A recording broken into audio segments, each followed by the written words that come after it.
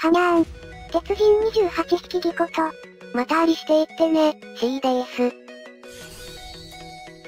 今回は首と胴体を切断してしまったという一が、罪を告白するために立てたスレを紹介するよ。やばすぎて怖。普段から派閥争いで鬱憤が溜まっていた一は、とうとう相手の派閥に手を出してしまったんだ。首と胴体を切断するのはやりすぎだな。かなり過激な画像もあるので心臓の弱い方はご注意ください。これは2012年1月14日に立ったスレ。閲覧注意。首と胴体を切断した。ID 付きでオプする。うざかったからナタでザクッとやった。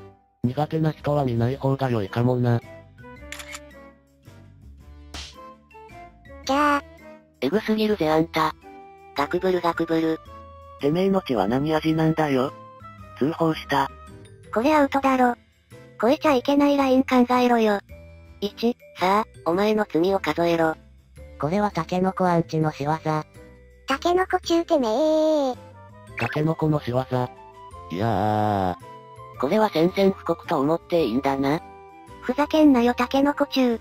なんて非道な行為。ぶち殺すぞ。大勝利。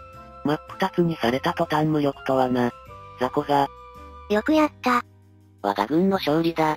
キノコなんぞ未来永劫奴隷なのだまあキノコなんざこんなもんだ。しっこみたいな形してるからそうなるんだよ。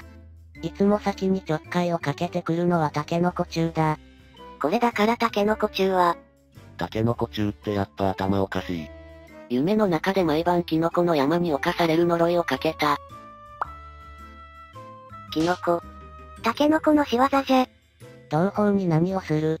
おい、もうこれ以上はやめてくれ。お前に良心はないのか心臓弱い人マジで見ない方がいい。俺まだ心臓バクバク言ってる。俺なんてビビりすぎて一回死んだぞ。鬼畜スレを開いてしまった。マジレスするとあれは帽子の部分だから問題ない。タケノコひでえ。やべえな、吐き気してきた。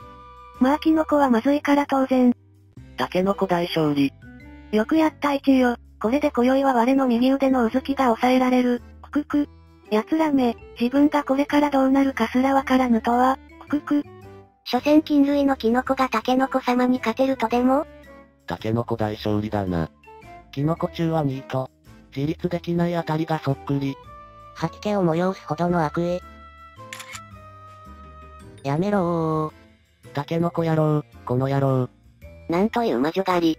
痛い痛い痛い熱い苦しい熱い痛い痛い。うは。タケノコ神の降臨。つか毎回ふっかけてくんのはタケノコ中だよね。戦争はいつもタケノコから。あまり俺を怒らすなよ。あんまりひどいと俺のタケノコが火を吹くぞ。来いよ。キノコ貧弱すぎ。体をチョコでコーティングしてるタケノコにはかなわない。その点突破はすげえよな。中までチョコたっぷりだもん。キノコはこの先生き残ることができるのだろうか？キノコの存在価値ってあるのか？いつもタケノコは10セット単位で買うけどキノコ買った記憶がない。やめろ。せめて、せめてチョコの部分だけは。タケノコ中目、鬼畜すぎる。タケノコは野蛮やでタケノコさんマジかねーっす。じゃあ、許さない？うわー、ポッキーさーん。ふひひ、俺に種族なんざ関係ねえ。どっちも食ってやるんだぜ。こんなことをしたタケノコを許さない。ワロタ。発想力がすごい。リサイクルワロタ。タケノコ中丼だけだよ。ほんとタケノコ中って野蛮だな。珍しくキノコが負けとる。キノコもろすぎ。タケノコはがっちりしてる。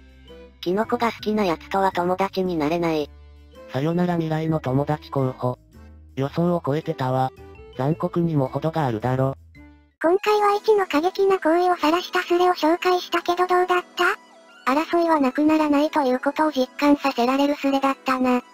普通にタケノコの方がうまいのになちょ、おま、タケノコ派だったのか。皆さんの感想も聞きたいのでぜひコメントで教えてください。このチャンネルでは2チャンネルの面白いスレを紹介する動画を投稿しています。動画が面白いと思ったらチャンネル登録をしてもらえると嬉しいです。それではまた次の動画でお会いしましょう。